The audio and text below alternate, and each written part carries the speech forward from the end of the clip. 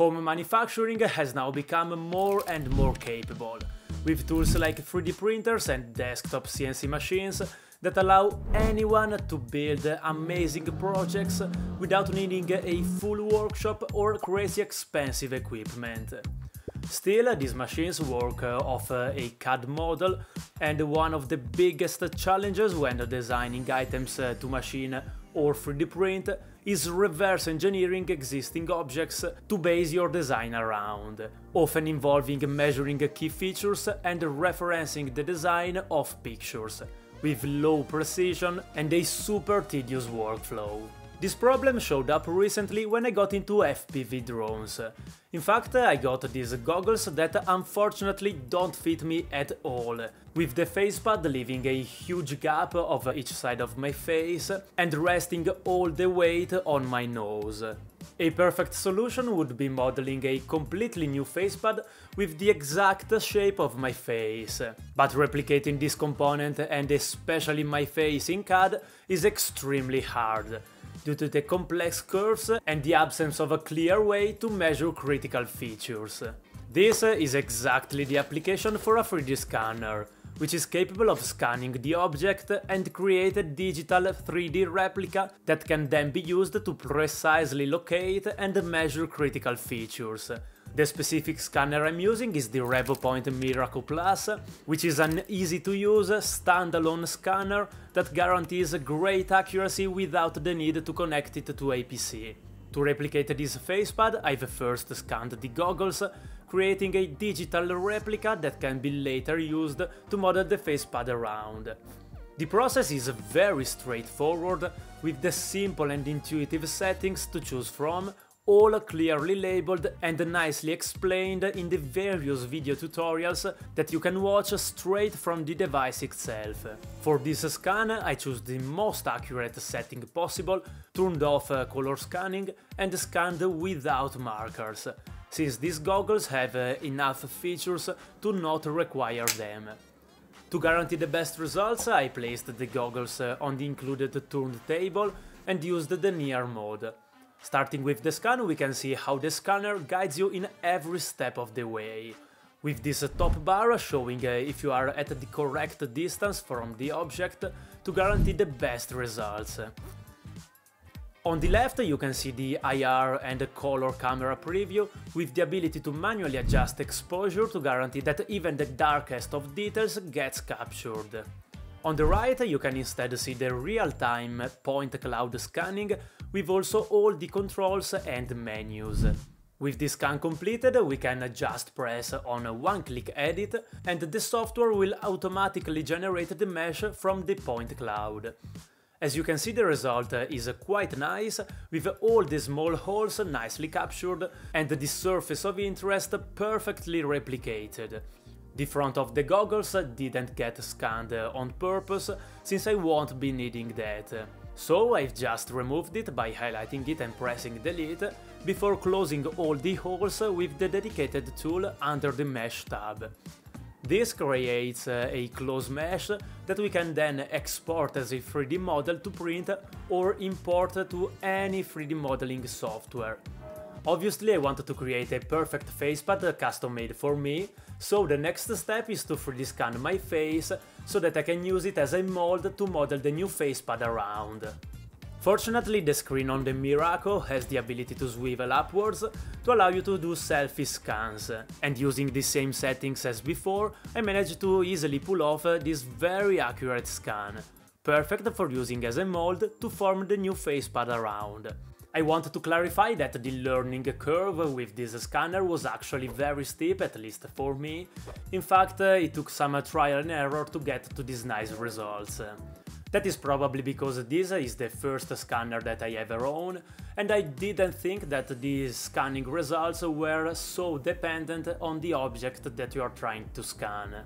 In fact, if the object is too dark, too reflective or even too symmetric, this scanner simply won't be able to scan it, and it requires the use of markers or uh, even of a special spray, which makes its surface a uniform light grey color.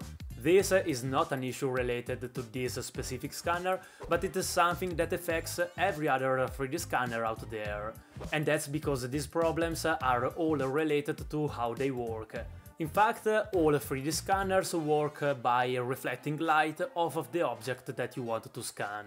And I think that it's obvious that uh, if you want to scan, for example, a mirror, that's impossible because the light doesn't get scattered when uh, it hits the object, but reflects perfectly away from it. A similar issue will occur when trying to scan a very dark object. In fact, uh, most of the light that comes out of the scanner gets uh, captured by the object and doesn't reflect back to the scanner, which also makes it very difficult to point out small details in the object. If the object is instead too symmetric, the scanner will simply not be able to orient the different scans with each other, and this requires markers to keep track of the orientation. With that said, the Miraco makes the whole process as easy as possible, and I haven't found myself in any situations where I didn't knew what the next step would be especially thanks to the previously mentioned uh, tutorials, which are included in the device and guide you through every step of the procedure.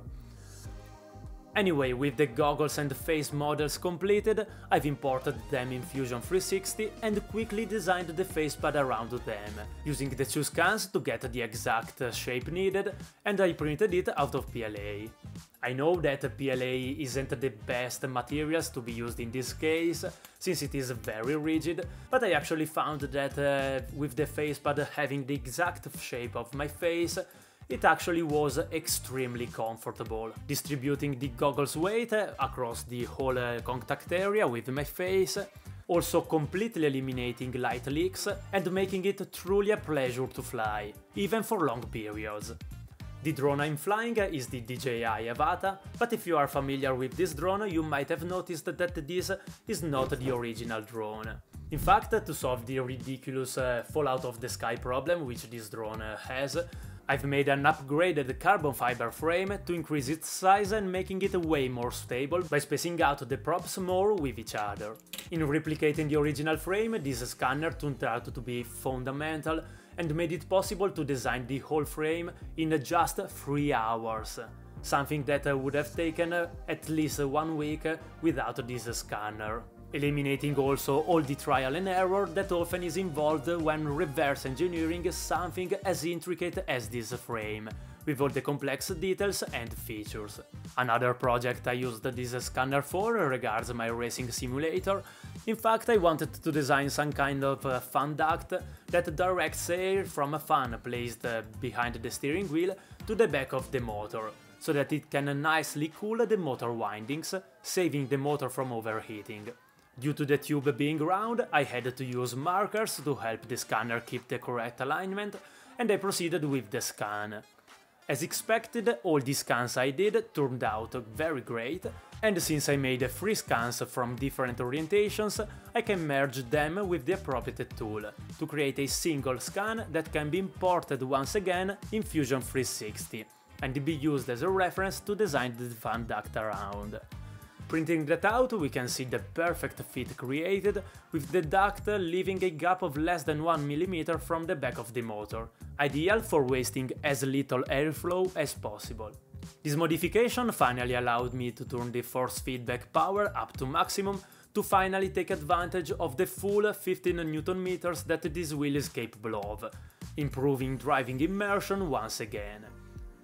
In this video I've just scratched the surface of what this scanner can actually do, but this set of features and the capabilities it offers are endless and I still have to learn how to use them all.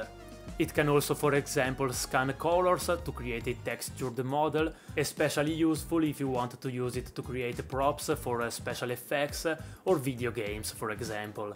It also has the ability to scan very big objects, like an entire car for example, and the fact uh, that it is standalone and very portable makes it uh, extremely useful to scan things outdoors where you don't have a PC available. I will be definitely using this scanner again in the future since I have uh, some very big projects planned involving cars and even a quick and rough scan can save an impressive amount of time and guarantee high precision. This scanner comes in at a quite hefty price point of more than 1000 euros, but the ease of use and the precision it offers fully justify the price, at least in my opinion. Especially considering that less expensive scanners might require a 1000 euro plus PC just to be used, while this one has all the processing power integrated into it. Thinking about uh, some downsides uh, that uh, I encounter, I can't uh, really find any major ones. The biggest one being the heavy dependence uh, of the scanning results on the object that you want to scan. But that's, uh, as I said, something that affects every single 3D scanner on the market. With that said, I truly suggest you get a 3D scanner if you're into any sort of 3D designing or home manufacturing mainly due to the huge amounts of time saved, the improved the quality of the project and the improved precision, which makes it very much worth the investment. You can find a link to this uh, RevoPoint Miraco in the description below. That's it for this video, I will catch you in the next one,